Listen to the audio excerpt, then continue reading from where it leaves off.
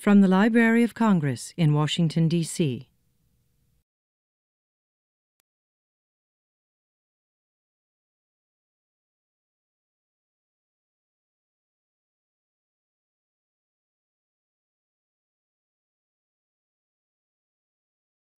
Good evening.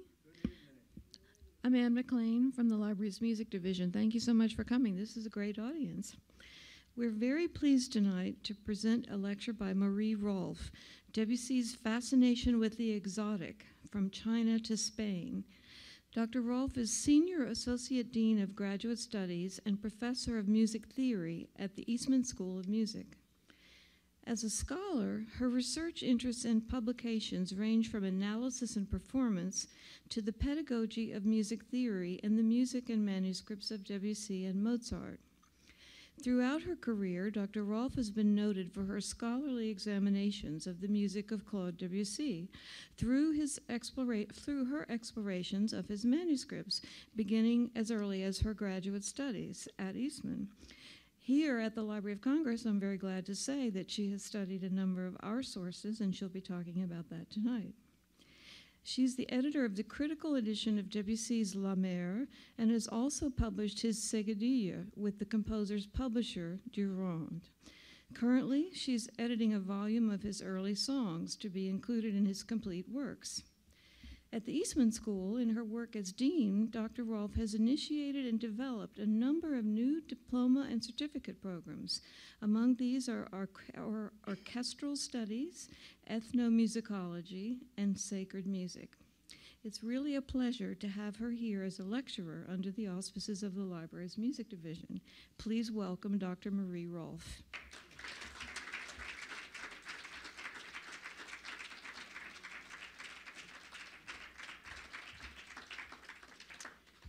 Thank you, and uh, thank you all for being here.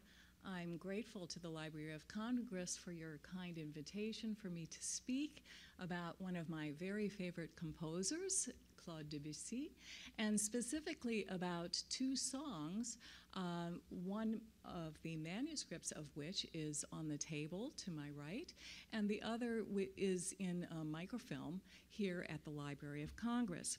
It is my hope that during the next hour, you'll come to share my excitement and enthusiasm in discovering and hearing uh, these largely unknown works uh, by this marvelous composer. So here we go Debussy's fascination with the exotic from China to Spain. Throughout his life, Claude Debussy was captivated by exoticism, which essentially involves the notion of a fascinating other world that is tantalizingly different from one's native culture. Some of Debussy's best loved compositions, works like Pagode from his Estampes for piano and Iberia from the Orchestral Image, conjure up landscapes of faraway places from the Orient to Spain. As a cosmopolitan and relatively well traveled Parisian, he was exposed to the traditions, sights, and sounds of other cultures. In addition, many of Debussy's closest friends opened his eyes vicariously to the art and aesthetic values of other civilizations.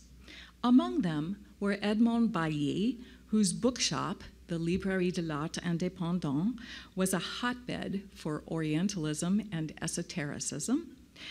Pierre Louys and Paul Jean Toulet, whose extravagant travels ranged from Egypt and Algeria to Tonkin, and Louis Laloy and Victor Segalen, whose work took them to the Far East. And as Edward Said has reminded us, Paris was, quote, the capital of the Orientalist world, quote, by the turn of the century when Debussy was in his prime. In my presentation today, I aim to demonstrate how Debussy absorbed those influences, and perhaps most importantly, how they served as a catalyst in the process of his own compositional growth. To that end, I will highlight two of his songs in particular, the Rondel Chinois and Seguidille, treasures whose manuscripts are preserved in the music division here at the Library of Congress and that were never published during Debussy's lifetime. In fact, the Rondel Chinois finally appeared only in 2013, edited privately by Nigel Foster for the London Song Festival, and Seguidille was released by Durand, Debussy's own publisher, in a score edited by yours truly in August 2014. The manuscript of the Rondel Chinois has been housed at the Library of Congress since 1930, when it was purchased from uh, Henri Prunier by Carl Engel. And the manuscript of Seguidille is currently in a private collection whose owner has graciously shared a microfilm of it with the music division. Debussy was still a teenager when he composed the Rondel Chinois. While he had not yet had personal encounters with Eastern music, he could not have escaped the craze in Paris during his formative years for art of the Orient. Following the opening of trade channels between the East and West in the mid 19th century, the European market was flooded with articles such as prints, ceramics, furniture, ivories, silk, and bronze works from China and Japan. Dealers like Siegfried Bing began to import Orientalist objects in the 1870s. From 1888 till 91, he published a monthly journal called Le Japon Artistique. And by 1895, he opened a shop called L'Art Nouveau in the 9th arrondissement. If you look over the doorway there, you can see the words L'Art Nouveau. Um, this is uh, slightly later architecture, but an example of architecture from the 1860s that was conceived in Oriental style is the Bataclan Theater. Originally a cafe concert, but which has been in the news this past weekend, as you know, for very sad reasons, as the site of a devastating terrorist attack. And the uh, black and white photo on the left is a photo from around 1900. It, the theater opened in 1865, but it still has its original pagoda uh, roof and is very Orientalist style. And the, the color photo on the bottom right is uh, from 2008, when it has just recently been, uh, had recently been painted. Other individuals, like Enrico Cernuschi, a patriot who fled Italy after the 1848 revolution and relocated to Paris, where he would become a wealthy banker, collected Oriental art on a massive scale. Disheartened by the Paris Commune of 1871, Cernuschi decided to escape the turmoil in his adopted city and traveled around the world from 1871 to 73, during which time he purchased approximately 5,000 artworks, many of them Chinese bronzes. Upon returning to Paris, he displayed them at the Palace of Industry, contributing to the emergence of Japonisme in France. Today, one can still view his fabulous art collection at his former home, now the Musée Cernuschi, in the Parc Monceau. Artists in Europe embraced exotic elements from the East, celebrating its linear qualities and lavish colors in their canvases. As early as 1875, Claude Monet memorialized his wife in kimono dress in this flamboyant painting now preserved at the Museum of Fine Arts in Boston. There she is. In 1886 to 7, Vincent van Gogh portrayed Le Père Tanguy three times, the third of which most unabashedly reflects Orientalism. That same year, Van Gogh quite literally copied two prints by the great Japanese ukiyo-e artist Hiroshige. The first is The Flowering Plum Tree, that's Hiroshige's woodblock from 1857, and here is Van Gogh's copy from 1887.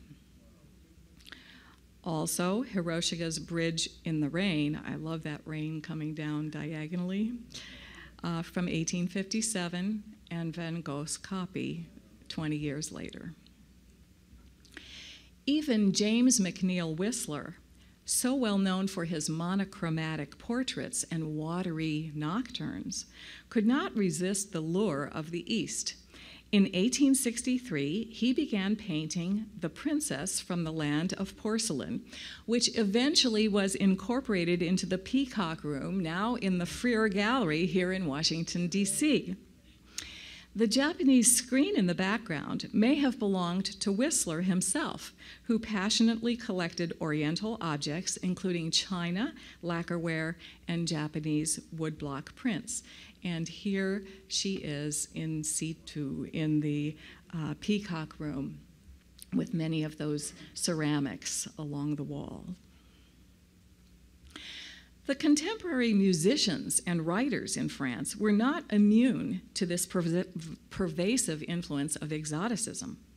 In the decade between 1875, when Bizet's Carmen was premiered in Paris, and 1885, when Gilbert and Sullivan's Mikado opened in London, French stage works were teeming with exotic subjects from Delibes' Lakmé to Massenet's Le Roi de Lahore and Le Cid. The Goncourt brothers were actively chronicling Parisian art and society, including the rage for Orientalism. They avidly followed Cernuschi and began themselves to collect Japanese prints and Chinese porcelain, displaying these objects in their home amidst their 18th century French treasures, often commenting on the resonances between the arts of the East and West. Later, in the 1890s, Edmond de Goncourt published on the works of Hokusai and Utamaro, whom he called the Watteau of Japan. It's no wonder that Debussy, who was coming of age in this exotically saturated milieu, was swept up in the current. He too venerated the work of Hokusai and Utamaro. As shown in this famous photograph of the composer with his guest Igor Stravinsky, taken in his study decades later. On the wall behind the composers, at the top, hangs Hokusai's Great Wave off Kanagawa, which Debussy requested for the cover of the first edition of his orchestral masterpiece, La Mer. Hokusai's on the left, cover of La Mer on the right. And beneath it is Utamaro's portrait of Wakatsuro as she reads a letter, echoing the second scene in Act One of Pelléas et Mélisande, where Geneviève reads Golaud's letter aloud to the blind king Arkel.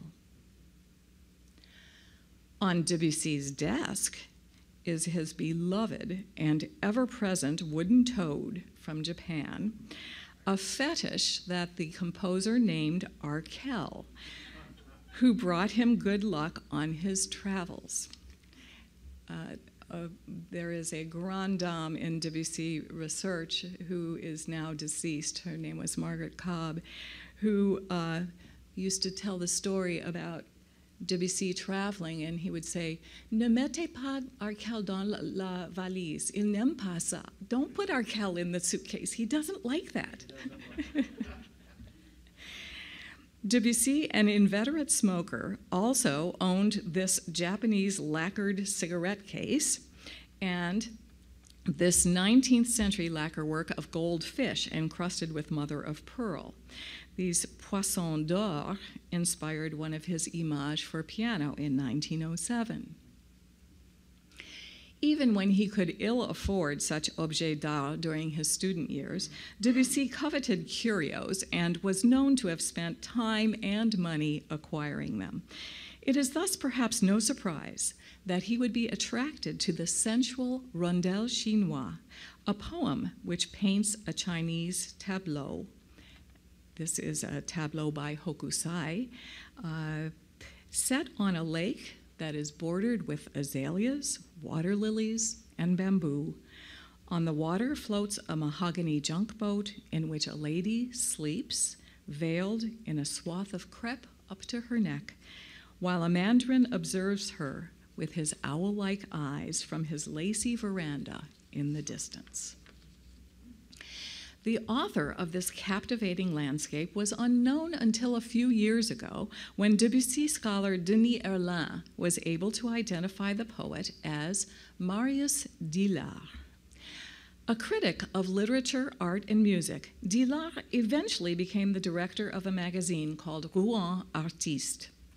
While yet in his teens, he had won a poetry contest with his Rondel Chinois, and as a result, it was published in the May 5, 1878 issue of the Union littéraire des poètes et des prosateurs. Debussy, two years younger than Dillard, chose to set the text of the Rondel Chinois as a song for Madame Marie Vasnier a coloratura soprano whom he accompanied as a student and who would inspire no fewer than 29 of his early melodies. Young Achille, which was his given name, was besotted by this married older woman, and she in turn must have been flattered by his attention. Before long, they became deeply involved. The flowery dedications to Madame Vasnier that Achille penned on his manuscripts bear witness to the intimacy of their relationship. The manuscript of the Rondel Chinois is no exception. You can see the original on the table. I'm sorry, the uh, copy is not terribly legible, but if you look in the top uh, uh, left corner, he writes To Madame Vanier, the only person who can sing and make forgettable all that this music has that is unsingable and perplexing. He says, euh, Tout ce que cette musique a d'inchantable et de chinois. In French, the, the phrase pour moi c'est du chinois is the equivalent of it's Greek to me in English. So in this dedication, the composer is cleverly punning on the adjective chinois. Following the title of the song, the composer continues with tongue in cheek, identifying the work, uh, the last two lines on uh, this slide, as Musique chinoise d'après des manuscrits du temps. Uh, Chinese music based on manuscripts of the period, which was, of course, bogus. It's clear, even from this title page, that this piece was a calculated attempt to render the allure of the unconventional or exotic in sound. Although this autograph manuscript is not dated, we can infer a date of 1881 for two reasons. First, young Achille misspelled Marie's last name. Uh, you'll be able to see it on the table there as V A N I E R instead of V A S N I E R. It's only by January 1882 that he began to spell Marie's name correctly on manuscripts, so we know this has to be prior to that time. Second, Debussy biographers report that he accompanied Marie in a recital, which included the Rondel Chinois in 1881. While unfortunately, no program of that event has been preserved. We do have a printed program for a recital in which Marie and Achille performed two of his other songs, Fête Galante and Les Roses. It, they're down um, four from the bottom there, on 12 May 1882. And if you look at the top, about the third line down, you will see he must have discovered how to spell her name correctly by this time since it was printed as V A S N I E R on the program. Dillard's poem is a classic rondel form in that it consists of 13 lines, two quatrains followed by a quintain, with a two line refrain that opens the first quatrain and closes the second. In his Rondel Chinois, only the first line of the refrain returns after the final quintain. And the challenge for the poet is to find seven compelling rhymes for the A lines and six rhymes for the B lines. Ideally, the poet will also illuminate a new aspect of the original idea each time rather than simply repeating the refrain for its own sake. In the Rondel Chinois, Dillard continually shifts the focus of his images, not unlike a videographer. In the first strophe, he moves from the general landscape on the lake bordered with azaleas, water lilies, and bamboo to focus on the slight motion of the boat within that scene. A mahogany junk with a gold tapered bow passes by. But in the second strophe, Delas reverses orientation, training his lens first on detail, the sleeping Chinese woman who's clothed in crepe, and then executing a literary focus pull by situating her within the wide angle landscape of the lake. In the following quintain, he transfers our attention from the crepe dress of the woman in the boat on the water to the lacy veranda of the mandarin on the shore, who is watching with owl like eyes, who, the Chinese woman who is passing by, where? On the lake bordered with azaleas. So you see that Debussy's continually shifting, uh, continually shifting juxtaposition of images creates a sense of fluidity and panoramic vision in spite of the repeated refrains. Each line of a rondel typically contains eight syllables, and Delas' poem fo- follows this principle as well. Sur le lac bordé d'azalées, de nénuphars et de bambous, passe une jonque d'acajou à la pointe d'or effilée.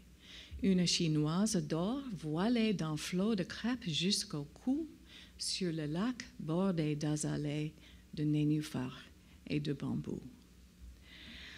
While Debussy does not repeat musical material for each of the refrains of the rondel, circled in this slide, he does respond to its three large divisions by casting his song in a ternary form, A, B, A. Both of the A sections convey the pastoral scene in the tonic or home key of A minor, while the B material centers closely uh, centered on the closely related key of C major and features a new motive and increased rhythmic motion in the piano. Debussy echoes Delas' octosyllabic lines in his choice of a double meter and a regular two and four bar phrase structure. In the A sections, the piano conveys the sensation of a boat gliding gently on the water. The languid duple pulse, emphasized by hollow open fifth pedals in the bass on the downbeats, contrasts with dissonances on the second part of each measure, simulating a steady ebb and flow of the water. Against this placid black backdrop, as you just heard, Debussy lavishes ornamental interest in the vocal line, which is clearly designed to suggest a mysterious other, a foreign fragrance of the East. This melody is replete with pentatonic inflections, a non Western pitch organization, that are overlaid on a similarly exotic modal quasi Dorian canvas. Whether the voice is that of the lady in the boat or that of a narrator, we hear her before we meet her as Debussy opens his song with a captivating vocalise. Of course, in a practical sense, passages such as this were composed to show off Madame Vasnier's high and agile voice. In Debussy's Rondel Chinois, they also serve a structural function, introducing the A section and uh, as well as the retransition to the final A and then uh, ending the song. Let's now hear at least the A and B sections of uh, this entire song performed by Nathalie Dessay and Philippe Cassard. Uh, I will. Um, I'll perhaps overdub where we are uh, because they are very metrically free here. Uh, it may be hard for you to follow the phraseology. Uh, and then a return of A. Just as Van Gogh was copying Hiroshige's Bridge in the Rain, so was Debussy imitating what he knew of Chinese musical conventions in his setting of the Rondel Chinois. Our knowledge of his precise musical models is scant, but presumably he would have been copying Western imitations of Eastern music at this time in his life, because his first serious exposure to indigenous music of the East would not occur till, until later in 1889 at the Paris World's Fair. And just as Van Gogh would absorb elements of Japanese ukiyo-e into his own artworks, so too did Debussy harness some of the musical ideas that he had developed in imitation of Eastern musics and incorporate them into his own distinctly French works. A clear illustration of this assimilation is found in his song entitled Fête Galante, based on a poem by Théodore de Banville and composed just one year after the Rondel Chinois. There is no hint of Orientalism in Banville's poem. Rather, it evokes the very French genre of the fête galante, depicting elegantly dressed men and women, often in a park like setting, and engaging in amorous play à la Watteau. This is his famous L'embarquement pour six terres. Debussy would soon turn to Verlaine's collection of Fête Galante, setting eight of the 22 poems to music, but in a sense he apprenticed in the genre by setting Banville's poem first. In Debussy's Fête Galante song, which the composer himself described as Louis XIV music with formulae from 1882, he reappropriated melodic embellishments from the Rondel Chinois. Already in the opening gesture, he composed a melody with the same characteristic turns, outlining the open fifth in blue and emphasizing the flat three and flat six scale degrees in red and green. And the primary difference being that the Fête Galante tune is now in triple meter, you see the 3 4 there, instead of the double meter of the Rondel Chinois. The second phrase in both songs moves up to the high A and exhibits the same Dorian inflected F sharp within the melisma. I've adjusted the spacing in the notation of this example to juxtapose visually the similar outlines and have bracketed parallel pitch material in the same color, but you'll be able to hear this immediately. Debussy's approach to the final cadence shows further resonances between the two songs, ending with an extended vocalise that ascends stepwise to the high A. Possessed with perfect pitch, the composer would surely have been conscious of these direct melodic connections. Likewise, his tonal plan, though more complex in the later Fête Galante song, shows a similar opening move from the tonic of A minor to C, and the phraseology remains very square. Because he's no longer attempting to evoke the Orient, Debussy limits his use of pentatonicism and a drone bass in the Fête Galante, but he maintains the melismatic pitch material that he developed in the Rondel Chinois, even at the same pitch level as we have seen, and he retains the modal inflections and the vocalises as well, beginning and end. In an even more extreme act of self borrowing, he eventually recycled and refashioned the material from his Galante song into the minuet movement of his Petite Suite for piano four hands. So here's the opening of uh, the song as sung by Anne Marie Rodde and uh, uh, played on piano, the, uh, performed by the late and great Noel Lee. Compare that to uh, Noel Lee and Werner Haas playing uh, the beginning of the minuet from the Petite Suite. The point is, the distinctive pitch elements and melodic treatment that emanated from his engagement with an Oriental subject were eventually assimilated into his own uniquely French compositional vocabulary. Of course, the East was not the only source of foreign and exotic influence for Debussy or other artists of his time. Keenly aware of his environment, he could not fail to have been influenced as were Bizet, Chabrier, and later Ravel, by France's well established attraction to all things Spanish.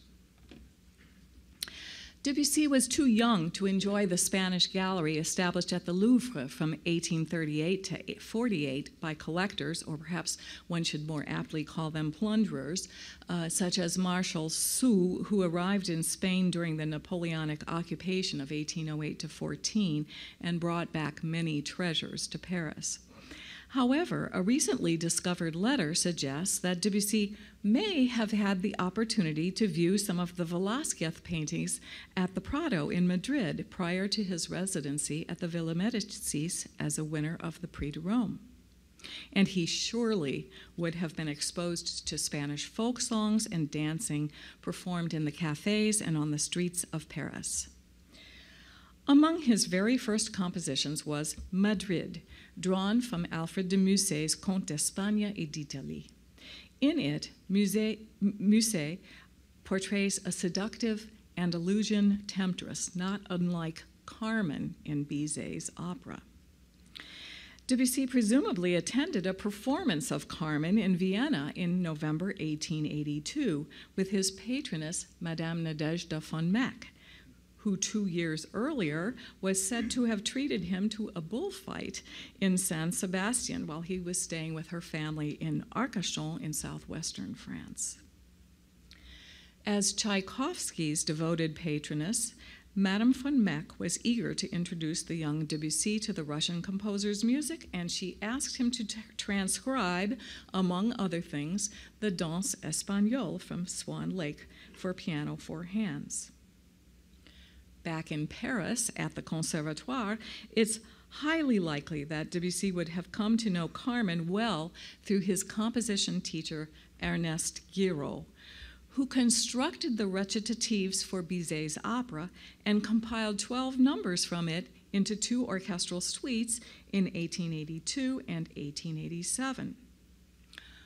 Other Spanish influences on Debussy may have come from faculty and students at the Conservatoire. For instance, his harmony teacher, Émile Durand, had set Théophile Gautier's Seguidilla already in 1874, which may have prompted Debussy to try his own hand at it. As is the case for the Rondel Chinois, there is only one complete manuscript source for Debussy's Seguidilla. Although it is not dated, we can surmise, based on the paper type used, the layout of the manuscript, and other chirographic evidence, that it was completed sometime after the end of March 1883, the year following his composition of Fête Galante. And the cover page for Seguidilla features the song's title in the center, creatively lettered diagonally down to the right, and followed by Poésie de Théophile Gautier and Musique de H. Debussy, with, of course, the dedication on the top right of the page to Madame Vasnier. Debussy's signature on the last page of this Seguidilla score is quite similar to his signature for Invocation from May 1883 as well as that on the flyleaf of the Recueil Vasnier, a collection of 13 songs which Debussy finished by February 84 and which he presented to Marie Vasnier sometime before leaving for Rome. The most intriguing clue in our quest to ascribe a date of composition for Seguidilla comes from a phantom page in the Recueil Vanier. It follows the sixth song in the collection, Coquetterie Posthume, which was also based on a Gautier text and dated at the bottom there. It's very hard to see, but it's 31 Mar- Mars, March 83. The folio after the end of the Coquetterie Posthume song was mysteriously excised from the volume.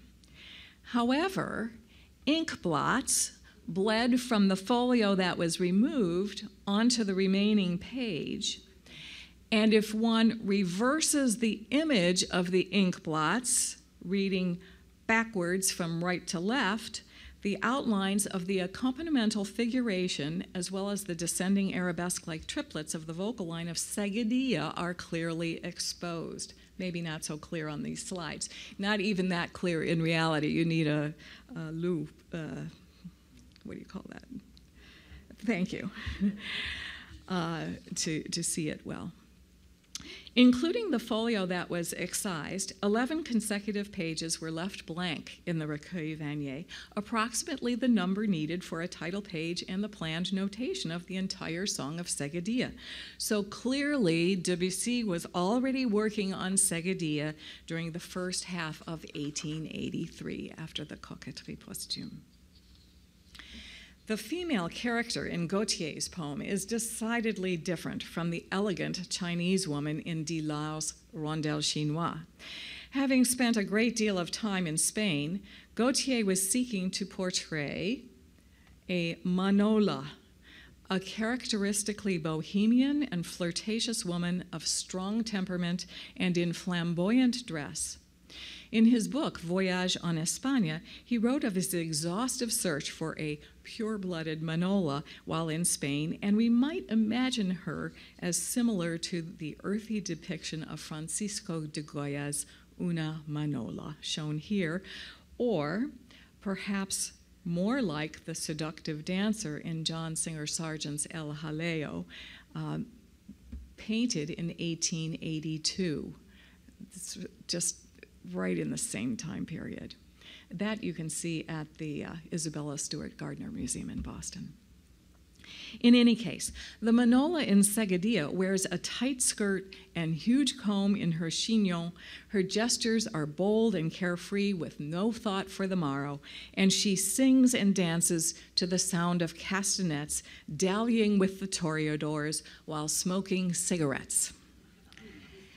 The structure of Gautier's poem follows, follows, the general outline of a traditional poetic seguidilla, which consists of a four line copla or quatrain, followed by a three line estribillo or tercet that serves as a refrain.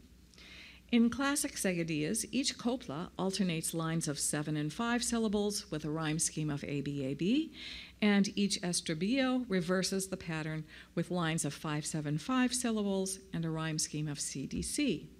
Furthermore, all of the five syllable lines typically feature assonance. While these details vary somewhat in Gautier's Seguidilla, the basic structure remains, and he concludes with the estribillo refrain that celebrates the lively Manola. Alza, hola, voilà la véritable Manola. Debussy celebrated her as well, up to high C sharp. Not only does the song exude the Manola's overt flamboyance, but its abrupt conclusion reflects the bien parado of a typical seguidilla dance in which the performers freeze in their final position. As you can see in the next slide, Debussy's form, musical form, parallels Gautier's poetic structure. His extended 46 bar introduction featuring the Manola's vocalise is followed by strophe 1 or copla 1 in A minor with its virtuosic refrain, the estribillo in tonic major. Strophe 2 is cast in the relative major of C. These, do you remember these keys? And a coloratura cadenza leads to the return of A for strophe 3, which ends with a bien parado on a high C sharp in tonic major. This formal and tonal plan, as well as the prominent vocalises, were all seen in the Rondel Chinois from two years earlier.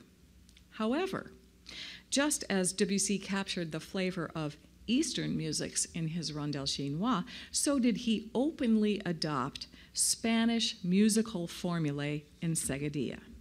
In fact, many of the musical cliches in his song closely resemble conventions found in the most popular Spanish spectacle of the day, none other than Bizet's Carmen.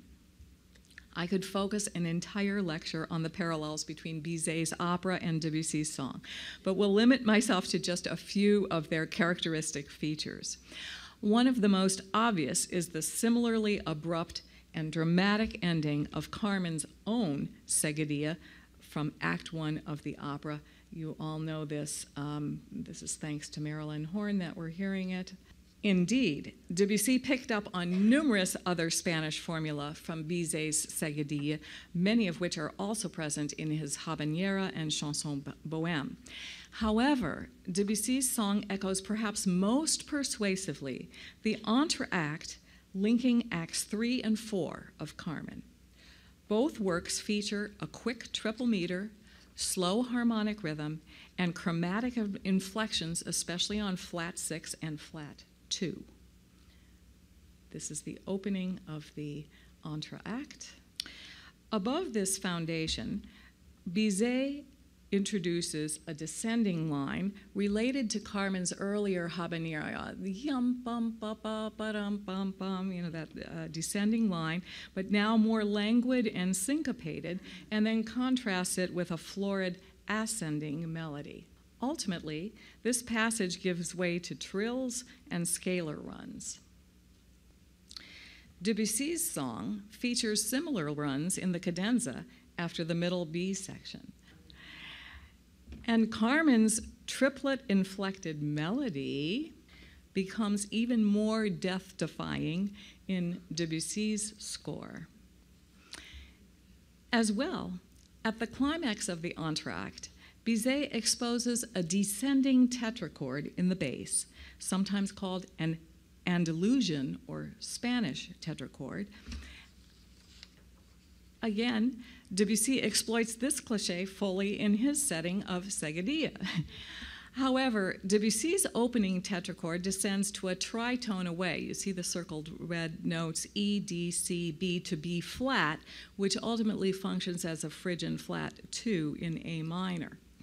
Above this surprising twist of the bass to B flat, the voice enters on E, the tritone above, with a flamboyant trill, and continues with that descending syncopated line that's uncannily reminiscent of the tune in Bizet's entr'acte. Finally, Bizet is fond of overlapping his melodies above four bar ostinato units in the accompaniment. I've circled the four bar foundation in blue here and shown the melody in red how it overlaps those four bar units. Debussy picks up on this notion of non synchronous phrase structure already in his vocal introduction with a five bar phrase that overlaps the four bar pattern established in the piano. Similarly, the opening of the first copla contains a five bar vocal entry over regular four bar phrases in the piano. Let's now hear this marvelous song composed by the 21 year old Achille Claude Debussy. Uh, I'm going to play the A section with the refrain. Let's do the B section, Gesta Hardi, and then there's this extended cadenza instead of the refrain, and I think I'll stop it after that. Debussy's sequel to Seguidilla was a chanson espagnole that he substituted in the Recueil Vasnier in place of his momentarily aborted Seguidilla. Ultimately, he codified his Spanish musical style in the chanson espagnole, a duet intended for Marie Vasnier to sing with her teacher, Madame Moreau Sainti, and that showcased their virtuosity. Based on a text by Alfred de Musset, whose Madrid Debussy had set as a rather unimaginative strophic song several years earlier, the chanson espagnole had been popularized by Delibes and others as Les Filles de Cadix. It would become Debussy's third song about a bullfight, the story told this time from the perspective of the toreador who's flirting with girls near the bull ring. In the Chanson Espagnole, Debussy pulled together the bolero rhythm that he had used in Madrid and that Bizet had used in his entr'acte, with the other Spanish conventions that we've already heard: triple meter, a slow harmonic rhythm, chromatic and modal inflections, especially on flat six and flat two, virtuosic octave leaps, runs, and trills in the voice, triplet inflected descending melodic motives, and a descending Andalusian tetrachord in the bass. Perhaps most memorably, he highlighted the dual soprano's elaborate vocalises at the beginning of the song and in the refrains, as you can see uh, the bottom line, Les Filles de Cadix, following each of the two strophes, as he had in the Seguidilla, and he finished with an abrupt bien parado, just as he had concluded the Seguidilla. And the piece ends with that just the high beat, uh, with the bien parado. As he matured, Debussy continued to expand and refine his Spanish musical vocabulary, especially as he intersected with Spanish composers such as Albéniz, Manuel de Falla, and Enrique Granados, and the pianist Ricardo Viñes, who would premiere the Spanish inspired Soirée dans Grenade from Debussy's Estampes in 1904, as well as La Sérénade Interrompue from the first book of Preludes in 1911. Debussy's later full assimilation of Spanish elements into his own compositional vocabulary is evident in works such as Iberia and other piano preludes. These works reflect his continued exposure to and exploration of indigenous Spanish folk songs as they were disseminated in anthologies published by individuals such as Philippe Pedrell and others. And of course, he absorbed many other Orientalist sights and sounds through the Paris World Fairs. During his formative years as a composer in the early 1880s, Debussy's initial attraction to Orientalist philosophies and values may have triggered his attempts to compose transculturally, that is, to imitate and adopt the stylistic and formal conventions of another culture. But ultimately, he absorbed and generalized these exotic elements within his own musical vocabulary, fully integrating them as he developed his unique compositional voice. Perhaps that is why his music is so universally loved and admired by people throughout the world. Thank you very much.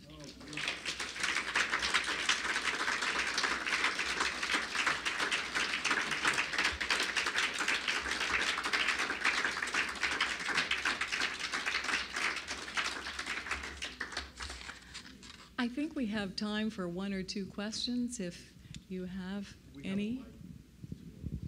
Okay, great. Sir.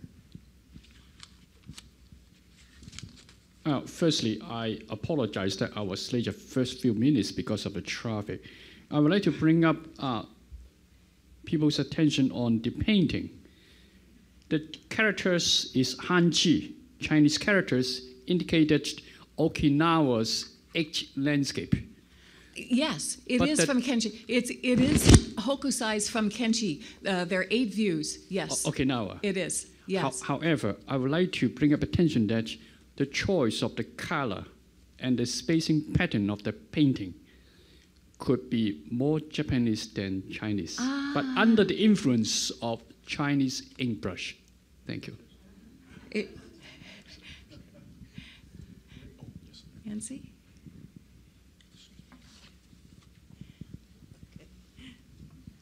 Could you elaborate more on the personal relationship between Debussy and Bizet? Uh, in, in, there's so much um, similarity. Was it friendly or was it competitive in the way they were interacting? You know, Bizet died, uh, in fact, when uh, Guiraud, course, because Bizet died in yes, 75. yes. So, so Debussy would have known uh, Bizet mainly through his composition teacher, Of course, Ernest Guiraud, uh, with whom he began to study in 1880. And it was in 82 that Guiraud composed the recitatives for Carmen posthumously, uh, that is, uh, uh, uh, posthumous for Bizet. Uh, the, when Bizet died, the recitatives had not been composed yet. Okay, thank you. Yeah.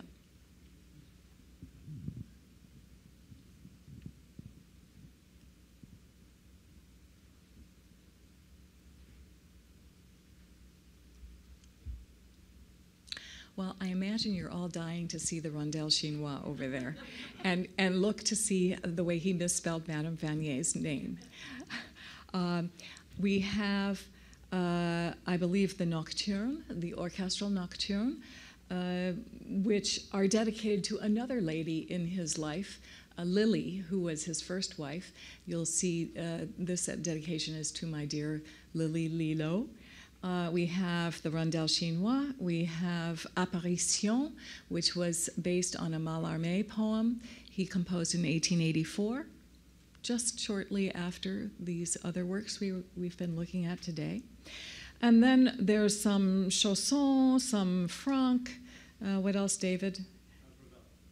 And Ravel, chanson Maracas. Yes.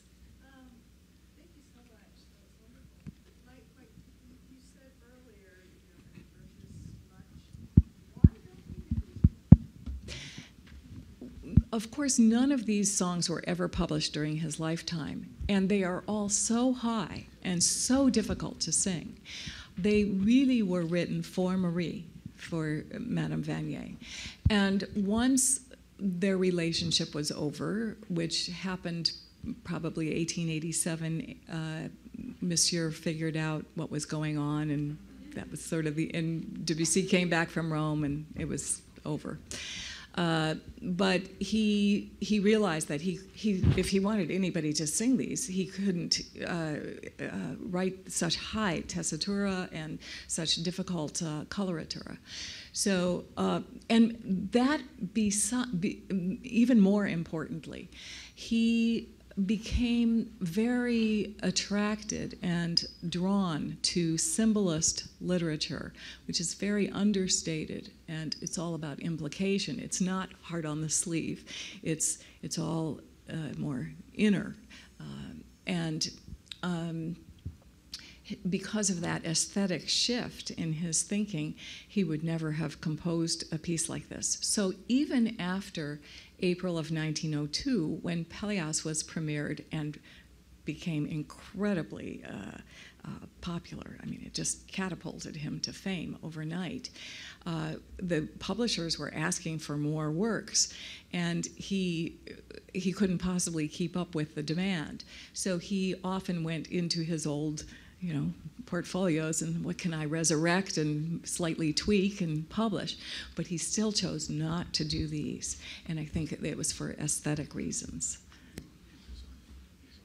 Great, thank you so much. Unfortunately, we do have to run out of, uh, well, we have a limit on how long we can be in the building, so we'd love to get you over to the manuscripts. And if you have any further questions for the speaker, feel free to see her privately over there.